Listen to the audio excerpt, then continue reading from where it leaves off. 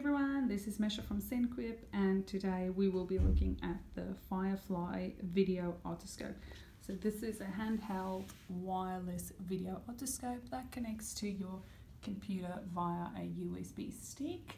and there is an on button at the back here so if you press that that turns the light on and as you can see there it starts showing on the video screen so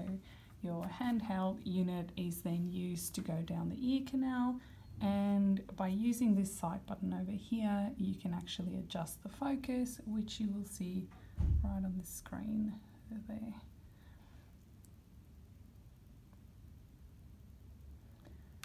This wireless otoscope also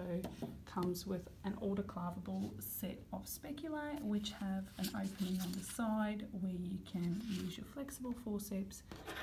to go in there and retrieve any foreign materials if needed. If you guys have any questions on this, get in touch.